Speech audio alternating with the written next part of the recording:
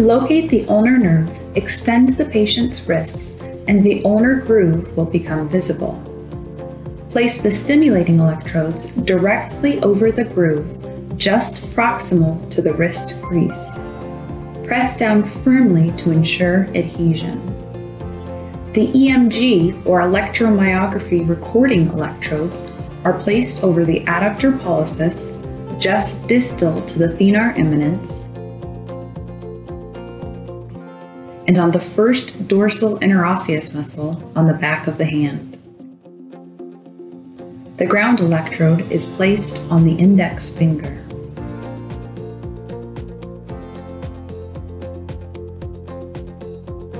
Wrap the J-shaped cutout around the patient's thumb and press electrodes 1 and 2 over the adductor pollicis and first dorsal interosseous muscles and place the ground electrode on the index finger. Press down firmly on all electrodes to ensure adhesion. Connect the electrode to the cable, making sure that the arrows are pointing up and towards each other. If desired, a gauze can be placed under the cable to minimize skin compression. Tape the cable in place to prevent it from pulling on the electrode.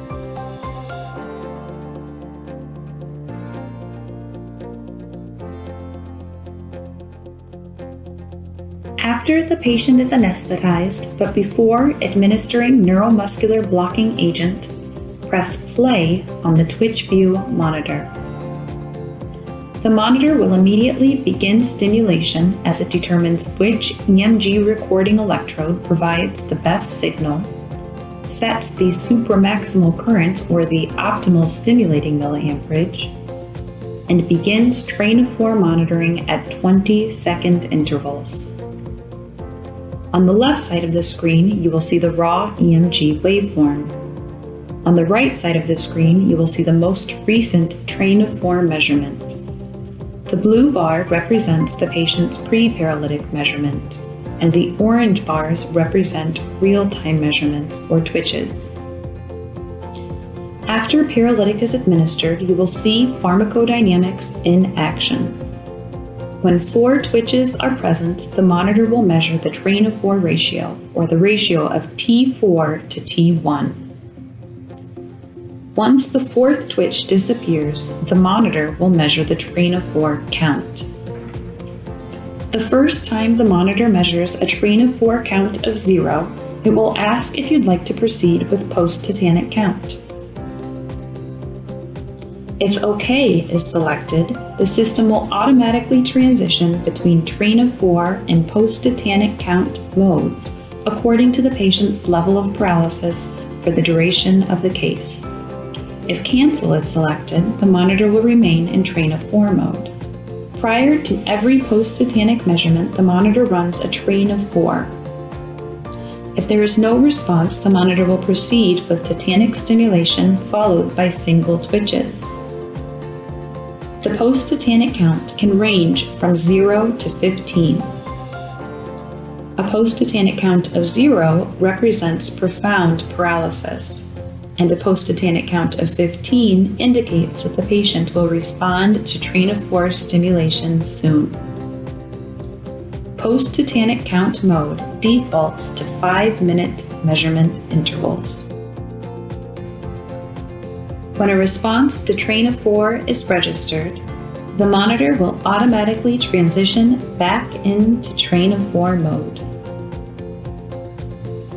A stat measurement can be taken by pressing pause and then play. To change the measurement interval, touch the countdown timer and toggle to the desired time. Press play to resume monitoring.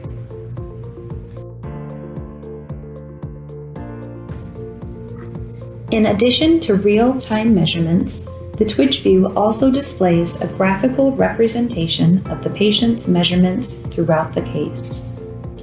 Each measurement is plotted as a point on the graph. A plot in the green portion of the chart represents a train of four ratio of 90% or greater. A point in black represents a train of four count of 4 with a train of 4 ratio below 90%. Light gray represents a train of 4 count between 0 and 3. And dark gray represents a post-tetanic count measurement.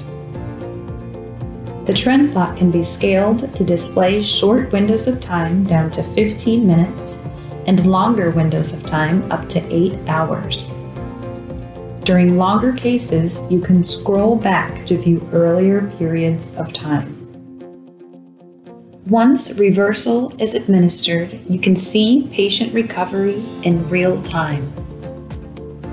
And you can confirm a train of 4 ratio of greater than 90% is achieved prior to extubation.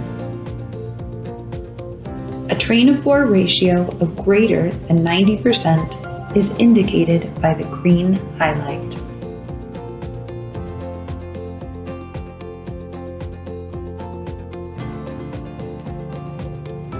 Once the patient is awake, pause monitoring.